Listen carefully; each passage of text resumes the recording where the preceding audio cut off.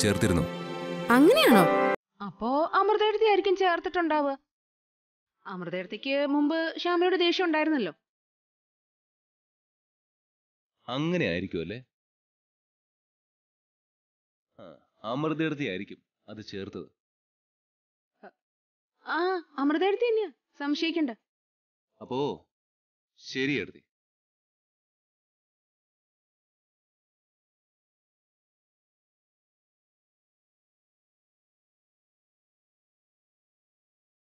എടുത്തി. അമൃതേടത്തി ഐശ്വര്യത്തിന്റെ പ്രതികരണത്തിൽ നിന്ന് ഒരു കാര്യം വ്യക്തമായി. ഇവിടെ നടന്ന സംഭവങ്ങൾക്ക് പിന്നിൽ ഐശ്വര്യത്തിന്റെ ഒരു കൈയുണ്ട്.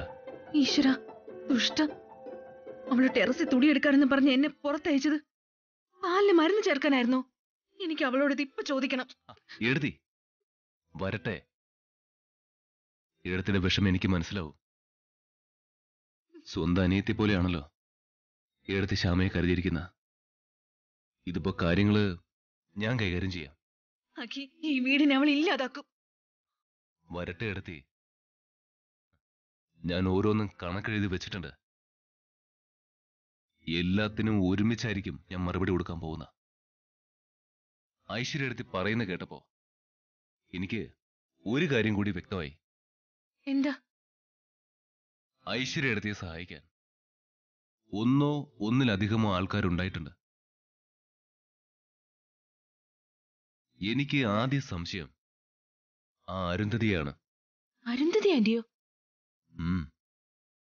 ചില കാര്യങ്ങൾ കൂട്ടി വായിക്കുമ്പോ അങ്ങനെ തോന്നുന്നു. വെറും തോന്നലല്ല. അത് ഉറപ്പ് തന്നെയാ.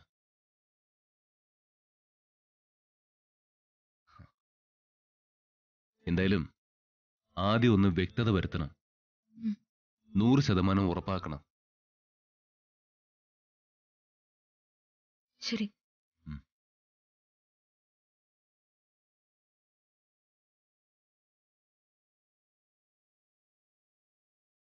പാവശ്യാമ അവളുടെ ശബ്ദം ഇല്ലാതാക്കിയതിന് പിറകിൽ ഐശ്വര്യാണെങ്കിൽ വരട്ടെ.